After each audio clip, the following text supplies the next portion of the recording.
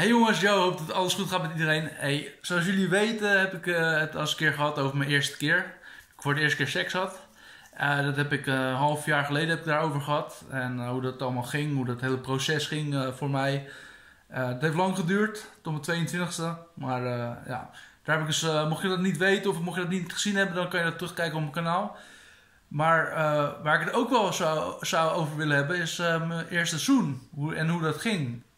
Nou jullie moeten erbij weten dat ik heel veel angstig ben van nature. En dat ik eigenlijk uh, altijd bang ben dat dingen misgaan. Dus dat had ik ook altijd met zoenen. En ik dacht dat ik dat helemaal niet zou kunnen. En uh, ik dacht van, ja, uh, mijn vrienden die gingen natuurlijk ook uit met mij. En dan gingen ze wel eens scoren, weet je. En dan gingen ze wel voor een dame. En nou, even lekker, lekker zoenen. En ik zat altijd een beetje bij op de achtergrond. Uh, je moet nagaan, je moet, moet weten dus dat ik op mijn twintigste pas voor de eerste keer zoende. Dus en ik ga al uit sinds mijn zestiende. Dus ik heb vier jaar lang ben ik uitgegaan zonder met een meisje te zoenen, zonder met een vrouw te zoenen. Dus dat was wel altijd, um, ja, ik vond het altijd heel ingewikkeld. En ik werd ook altijd gefriendzoned door, door meiden. Dus uh, als ik uh, uitging, dan had ik gewoon liever dat ze me zagen als een vriend. Als een vriend, gewoon als een, uh, iemand die betrouwbaar is. Die ze niet in de steek laat. Die, die niet alleen is voor de seks. dat, ik, dat ik er vooral was voor als, als vertrouwensband, zeg maar. Dat ik gewoon een maatje was. En ik ging nooit uit van, ik ga vanavond stappen en ik ga vanavond scoren. Dat is nooit mijn intentie geweest toen ik vroeger uitging, dus uh, bijna tien jaar geleden. Toen ging ik, ik, zou, ik zou nooit uh, uitgaan en dan denken van oké, vanavond uh, ga, ik een, ga ik lekker een paar meiden zoenen en dan krijg ik een goed gevoel van. Dat had ik eigenlijk nooit. En dat kwam altijd omdat ik dus bang was dat ik het niet kon. Dat ik niet kon zoenen, dat ik niet kon tongen. Dat ik, ja, dat ik gewoon een noep was erin. Maar ik moet wel één ding zeggen jongens. Uh, en dan ben ik oprecht. Ik was wel gelukkiger in die tijd dan dat ik nu ben. Dus al die uh, tragedies die ik later heb gehad met, uh, met vrouwen. Dus dat ik ben gedumpt, dat ik ben afgewezen. Dat had ik vroeger niet. Dat had ik tien jaar geleden had ik dat helemaal niet. Omdat ik dus helemaal niet uit was op, op seks of vrouw. Of, ik had er helemaal geen behoefte aan. Dus ja. En dat vond ik wel lekker relaxed eigenlijk. Ja. Mijn, andere, mijn vrienden hadden het altijd over seks en over zoenen en scoren. En dat had ik dus totaal niet eigenlijk. Tot op een moment dat ik met vrienden naar spinning sessions ging. In 2015, februari 2015. Toen uh, ging ik met een uh, groep uh, vrienden, met Mart, dat was een vriend van mij vroeger. En zijn vriendengroep gingen we naar Amsterdam. Uh, naar de Heineken Musical of naar de Ziggo Dome. Ik weet niet precies, niet Ziggo Dome, maar volgens mij de Heineken Musical was dat. En was het Ziggo, was het, was het nou Spring Sessions of was het nou Project? Voor mij was het Project, jongens. Project. Was het uh, was een soort van festival. Uh, februari 2015 was uh, binnen. En dat was hartstikke leuk, was hartstikke vet. hartstikke goede sfeer. Ehm, nou, en ik ging dus als een soort van ja, ik was nog nooit ontgroend. Dus ik ging met die, met die meiden mee en met, uh, met die gasten. En Mart, die, uh, die had geregeld, een van die vriendinnen van hem, dat die met mij uh, konden gaan. En dat, dat zei hij ook tegen mij een paar dagen van tevoren. Toen ging ik met hem chillen. En toen zei hij tegen mij van... Tijmen, ik heb een leuke meid voor je klaarstaan. En als je dan met, met ons meegaat naar Project, dan kan je misschien wel met haar gaan. Ja, en ik kreeg helemaal het zweet, jongen, brak uit op mijn nek, joh. Ik dacht bij mezelf, fuck, ik, ik kan helemaal niet zoenen. Ik kan dat helemaal niet. Ik ga sowieso falen. Ja, je kan wel uh, zeggen dat je een vriendin hebt die, uh, die mij wel wil ontgroenen, maar ja, ik, misschien kan ik dat helemaal niet. En sta ik dan voor lul voor de groep. Dus ja, ik was heel, uh, heel huiverig. En, maar ik was wel, nogmaals jongens, ook even wil zeggen, ik was wel heel gelukkig in die tijd. dan moet je wel weten van, ja, ik was wel ja, ik was, ik was gewoon wel. Uh, ja, ik was een beetje een groentje natuurlijk. Ik was 20 jaar, ik had nog nooit gezoend. En al mijn vrienden hadden het erover. En ik kon er niet over meepraten, omdat ik nooit had gezoend. Maar ja, tegelijkertijd had ik ook zoiets van: ja, fuck it. We, we maken er maar een mooie avond van. En uh, ja, als die meid, eh, als die vriendin van Mart met me wil zoenen, dan, dan zei het zo. Dan, nou, nou, dan, dus wij gingen naar Project toe. Het was echt een leuk festival, jongens. Echt heel gezellig. En uh, er hing een goede sfeer. En die vriendin van Mart, ik ga geen namen noemen, dat zou heel respectloos zijn. Die begon tegen mij te schuren. op te schuren. Dus ik stond daar. Maar ja, jongens, ik kon wel haar bij de heupen pakken en dan ja, een beetje meedansen. Dus zij begon tegen me aan te schuren, maar ik durfde het allemaal niet. Ik vond het allemaal te eng. En ik dacht ook bij mezelf, ja, wat heb ik haar te bieden, snap je? Uh, dus, nou ja, zij dus een beetje dus tegen me aanschuren zo. En ze zegt tegen Mart, Mart nog één keer. En als deze jongen niet blijft reageren, dan uh, heeft hij zijn kans verkeken. En ik was echt, jongens, ik ging, ik ging wel mee naar het festival, naar het project. Maar ik had echt zoiets van: nee, ik, ik wil helemaal niet. Ik, ik, helemaal niet te zoenen. Weet je? Ik kom gewoon voor de gezelligheid. Met mijn vrienden gewoon een goede tijd hebben. En, uh, maar er was nog een vriendin van uh, Mart die avond. En daar bleef ik een beetje mee hangen. Daar bleef ik een beetje mee praten. En een beetje, ja, was wel heel leuk, heel gezellig. En echt een lieve, lieve meid. even lang als ik. Echt een topper. En. Ehm, ja, dus wij waren echt we wel een beetje chemie samen. We hadden ook allebei dezelfde studie gevolgd. Dus we hadden wel een klik. En nou, op een gegeven moment toen gingen we een watermeloen eten. Want ja, je bent natuurlijk op zo'n festival en het is hartstikke warm daar. En er werden watermeloen verkocht. Dus nou, hartstikke leuk. Dus wij gingen een watermeloen kopen. En we waren aan waren je moet een beetje zien als... hoe heet ik wel? Lady in een Vagebond. Die Disney film. Weet je nog die Disney film? dat die honden twee spaghetti sliert zitten te eten samen. En dat ze dan steeds dichter bij elkaar toekomen, zeg maar. Dat ze diezelfde spaghetti sliert zitten te eten. En uit de mond komen ze steeds dichterbij. En dan komt de zoen tussen de twee, tussen Lady en Vagebond. En ja, dus dat is in die, dat is die Disney film is dat zo. Maar die meid en ik, die waren dus een watermeloen aan het chappen. waren aan het eten. En we waren aan het praten. En op een gegeven moment zeg ik tegen haar van...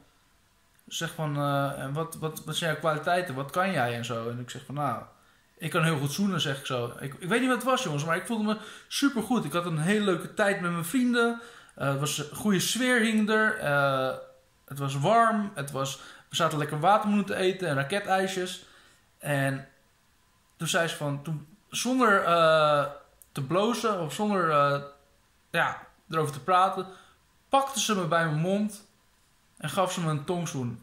En ik tong dus terug, want ik dacht ook bij mezelf, ja, uh, ja ik kan ook wel niet, uh, niet zoenen, maar uh, ja, weet je, dus ik, dus ik, ik, kon er helemaal niks van, jongens. Ik bakte er helemaal niks van. Dat weet ik nog heel goed, dus het zal, ja, deze maand, negen jaar geleden, dat ik voor de eerste keer had gezoend. En nou, ik was zo trots, joh. Dus wij, wij de zoenden met elkaar. Zij pakte me dus bij mijn mond. En het was 20 seconden. En ik was helemaal blown away, jongens. Ik dacht echt bij mezelf van... Oh joh, ik heb gewoon mijn eerste zoen gehad. Dit is echt niet normaal. Ik ben 20 jaar en ik heb voor de eerste keer gezoend. En ik hoefde echt... Ik hoefde uh, niet meer met haar te zoenen daarna. Ik dacht bij mezelf van... Yes, het is me eindelijk gelukt. Ik ben voor de eerste keer ontgroend in mijn leven. Dus ik was helemaal, uh, helemaal trots. En daarna heb ik nog heel, heel, veel met haar gepraat en heel veel met haar gewandeld in dat, uh, op dat festival met die, uh, met die meid. En nou, ik was zo blij. En ja, die dame die mij dus heeft ontgroend, die ben ik zo dankbaar daarvoor, voor dat moment dat dat, gebeurde. Ik, ik dacht zo, jezus, het zal, no het zal nooit gebeuren. Want elk, vanaf 2008 zat ik elk jaar zat ik bij de Grote Houtstraat voor het stoplicht. Dus van 2008 tot december 2014 zat ik elke jaar zat ik, stond ik bij het stoplicht. En dan kwam zo'n, oh shit, het is weer niet gelukt. Ik ben weer niet ontgroend uh, uh, in, in dit jaar. Dus elke, elke, elke maand, of elke december, van december 2008 tot december 2014 zat ik bij het stoplicht. Zat ik elke, elk jaar zat ik na te denken over hoe mijn jaar was. En dan stond ik bij het stoplicht en was een beetje teleurgesteld van... Jezus, heb ik weer niet gezoend. En ik, ik ben er al een paar keer heel dichtbij geweest hoor. Dat ik met een meid uh, voor onze, uh, onze lippen elkaar kruisten. Maar dat ik te onzeker werd en te vaal angstig werd. En dat ik zoiets had van, nee, ik durf niet, ik durf niet te zoenen. Uh, ik ga toch maar iets anders doen of ik ga toch maar praten of zo. En nou, heel stom. Maar die meid van Project, die vriendin van Mart, die heeft me dus ontgroend. En ik was 20 jaar en ik was heel erg happy. Happy de peppy. En seks, daar hoefde ik helemaal niks over te weten. Ik had gezoend en ik was super blij. Ik heb het aan al mijn vrienden verteld dat ik heb gezoend. Uh, ja, ik was echt, het was een mijlpaal. En uh, later, ja, later die, die, die weken, die voor kwam, die, kwam die meid nog een keer tegen. En ja, toen heb ik nog wel een paar keer met haar gezoend in de in de Stalker. De Stalker, dat is een, echt een fenomena fenomenale club in Haarlem. Dat uh, gesloten is helaas. Dat is in 2000, begin 2019 is het gesloten. En van 1983 tot, 2000, tot december 2018 heeft dat bestaan. En elke Haarlemmer weet waar ik het over heb als het gaat over Stalker. Maar ja, in ieder geval wat ik wil zeggen is... die meid die, die heb ik nog een paar keer gezien. En ik kwam er laatst nog tegen, hè? Ik kwam haar laatst nog tegen in de studio's. En ik zei tegen haar: Ik moet je even een geheimje vertellen. Uh, jij hebt mij ontgroend en ik heb voor het eerste keer gezoend met jou. En ik zeg tegen haar: van, Dank je wel voor dat moment. Echt heel erg bedankt. Want ik was. En je moet nagaan, ik was 20 jaar en ik was hartstikke onzeker. Ik had helemaal nooit een meid aangeraakt of een vrouw aangeraakt. En ja, opeens overkomt het je, weet je. Dan ben je gewoon heb je gewoon voor de eerste keer gezoend. En helemaal omdat het wat laat was. En omdat ik een laatbloeier was, was het gewoon uh, voor mij een uh, heel mooi moment. En uh, later heb ik nog met heel veel meiden en heel veel vrouwen gezoend. misschien wel over de 120, denk ik. want ik had de smaak te pakken. En ik heb heel veel gezoend in clubs. En ik heb ook wat harten gebroken. Maar mijn hart is ook een paar keer gebroken sindsdien. Maar daarvoor dus, voor februari 2015 had ik nooit een dame aangeraakt. Had ik bijna wel eens... Het kwam een paar keer dat ik bijna had gezoomd met iemand. Maar dat er niet van kwam. Maar op project is het dan toch gebeurd. En die meid, uh, de dame in kwestie, die heeft mij dus uh, bij mijn mond gepakt. En die heeft me gezoend. En zonder nonsens, zonder te overleggen eigenlijk. En ik zei tegen haar dus ik kan heel goed zoenen. En toen pakte ze me op mijn mond. En daarna heb ik nog een paar keer met haar gezoend. We hadden nog een keer bij me thuis afgesproken.